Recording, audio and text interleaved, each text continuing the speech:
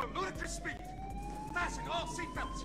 Seal all entrances and exits. Give me that, you petty excuse for an officer. Now hear this.